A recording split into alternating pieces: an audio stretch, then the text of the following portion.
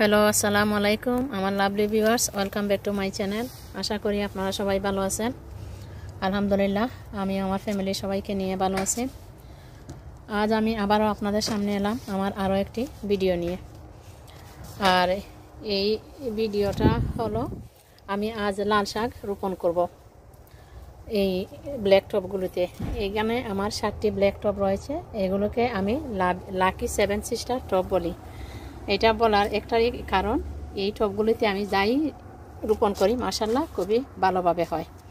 এক একটিতে আমি চারবার, পাঁচবার করে রোপণ করেছি আর চারবার, পাঁচবার করে এগুলো উঠেছে মাসাল্লাহ তো এর আগে আমি আপনাদের দেখাবো এই মাটিগুলো কীভাবে আমি রেডি করি, আমি লাল শাক লাগানোর জন্য। এই মাটিগুলি আমি লাস্ট ইয়ার অক্টোবরে নতুন মাটি টবে নিয়েছিলাম, এই মাটিতে আমি মূলা শাক লাগিয়েছিলাম। মূলা শাকগুলি আমি তুলেছি। এই মাটিতে শুধুমাত্র একবার মূলা শাক উঠেছে। খুব বেশি পুরনো নয় মাটিগুলো। তারপরেও এই মাটিগুলো আমি কীভাবে প্রসেসিং করব, রোপণ করার জন্য, সেটা আমি আপনাদের আগে দেখা, দেখাচ্ছি। আমি এই মাটিগুলো কুড়ে রেখেছি সুন্দরভাবে। মাটিগুলো মসৃণ এখন। সেই মাটিতে এখন আমি কি কি মুসাবো সেগুলো আপনারা দেখুন। এখানে রয়েছে, এই দেখুন আপনারা প্লান্ট ফুড এই প্লান্ট ফুড আমি মিশাবো। আর আরেকটা হলো, এই দেখুন চিকেন মেনুর এটাও প্লান্ট ফুড এটা মুরগের বিষটা থেকে বানানো হয়। এটা অর্গানিক এই দেখুন, এটা আমার লাস্ট ইয়ারের ছিল।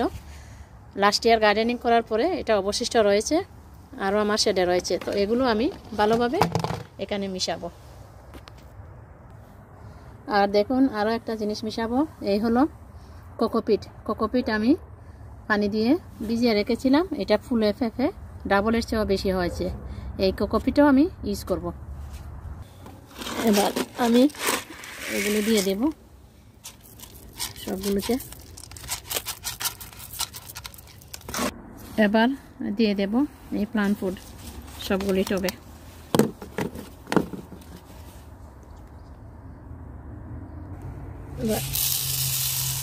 নিয়ে নিলাম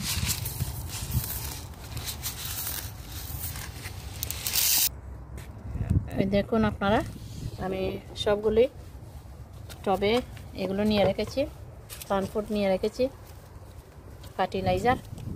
এবার আমি মাটির সাথে ভালোভাবে মিশিয়ে নিব। এবার আমি টবের সব মাটির সাথে এগুলোই ভালোভাবে মিশিয়ে নিচ্ছি। এবার আমি এইটাতে কোকোপিট নিয়ে নিব। কোকোপিট নিয়ে নিব। কোকোপিটের সাথে আমি বীজ ভালোভাবে মিশিয়ে নিব। এখানে আমি কোকোপিটের সাথে আমার লাল শাকের বীজ ভালো মতো মিশিয়ে নিব। বিসমিল্লাহ রহমান রাহিম। দেখুন।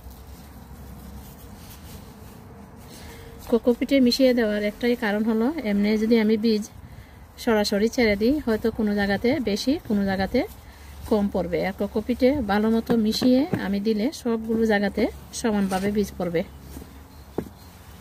ডাইরেক্ট না দিয়ে এভাবে দিলে ভালো হয়।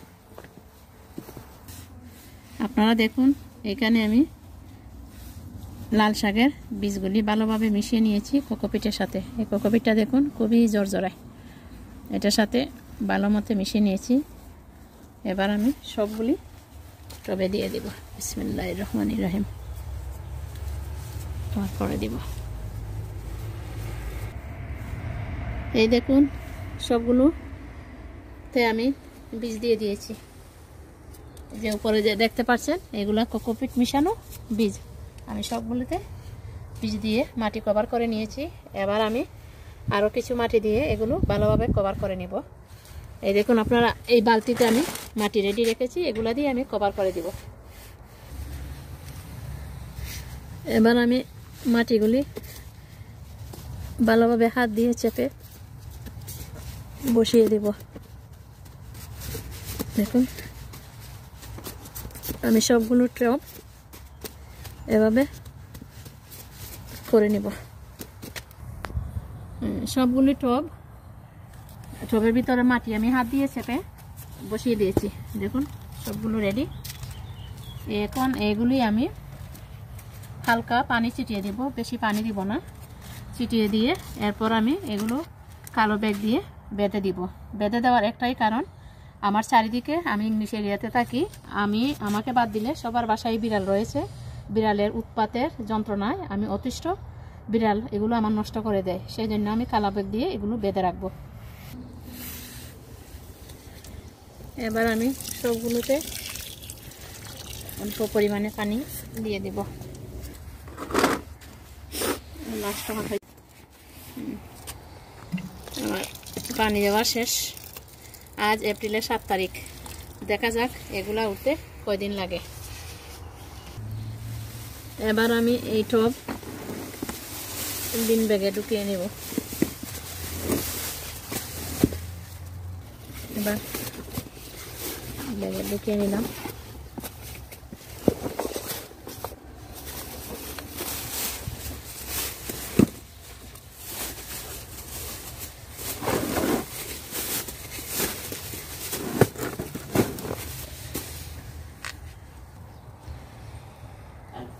আমি এভাবে একে একে সবগুলো টব কভার করে নিব। এলাম আবার সাত দিন পর। এবার আমি এগুলা খুলে নিব। দেখে নিই এগুলো কি অবস্থা। বিসমিল্লাহ রহমান রাহিম। মাসাল্লাহ মাসাল্লাহ দেখুন আপনারা, কাছ থেকে দেখাচ্ছি। খুব সুন্দরভাবে বেরিয়েছে। আপনারা দেখুন আমার লাকি সেভেন সিস্টার, সবগুলোতে মাসাল্লাহ খুব সুন্দরভাবে, ভালোভাবে লাল শাক বেরিয়েছে। এই দেখুন, সবগুলো টবেই বেরিয়েছে। এটাতে হয়তো একটু কম বেরিয়েছে। এটাতে একেবারে কম বেরিয়েছে, মনে হয় এটাতে আবার আমি কয়েকদিন অপেক্ষা করব, যদি এগুলো থেকে আর না বেরোয়, তাহলে এখানে আরও আমি কিছু পিস ছিটিয়ে দেব। দেখুন আপনারা, এখানে আমার সাতটি টবেই বেরিয়েছে।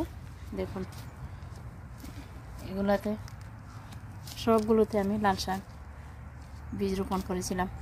দেখুন মশাল্লা সুন্দরভাবে বেরিয়েছে। এবার শুধু বিড়াল এসে নষ্ট না করে দিলেই হয়। আমি খুবই বয়ে বয়ে আছি যে বিড়াল এসে কোন সময় নষ্ট করে দেয়। ফিরে আসব আরও এক সপ্তাহ পর। যেগুলো কোন অবস্থায় গিয়ে যাচ্ছে, কতটুকু বড় হচ্ছে আরও এক সপ্তাহ পর আবার ফিরে আসব ইনশাল্লাহ আপনাদের এখন নিয়ে এলাম আমার গার্ডেনের আউটসাইডে যেদিকে আমি আমার লাল শাকগুলো লাগিয়েছিলাম লাল শাকের বীজ রোপণ করেছিলাম। লাল শাক এত বড় হয়েছে। আমি লাল শাক যখন রোপণ করি, তখন আমি একটি ভিডিও করেছিলাম। তারপর এগুলো যখন উঠেছিল, একেবারে ছোটো ঠাইনি বেবি ছিল, তখন আমি আরেকটা ভিডিও করেছিলাম। এরপর আমি আরও একটি ভিডিও করেছিলাম। এগুলো একটু বড় হওয়ার পরে, কিন্তু আনফর্চুনেটলি আমার সেই ভিডিওটা কীভাবে যেন ডিলিট হয়ে যায় আমি নিজেও বলতে পারি না। সেই জন্য এই অংশটুকু আমি আপনাদের দেখাতে পারছি না পারছি না। এখন আমি একেবারে ফাইনালি দেখাচ্ছি আমার এগুলো কত বড় হয়েছে। আপনারা দেখুন, আমি আপনাদের দূর থেকে দেখাচ্ছি। মাশাল্লাহ মাশাল্লাহ এগুলো অনেক বড় হয়েছে। নর্মালি আমি এগুলো মার্চের এন্ডে দিয়ে লাগানো শুরু করি, বীজ রোপণ করি। এখানে আমার ষাটটি টব রয়েছে যেগুলোকে আমি লাকি সেভেন সিস্টার বলি।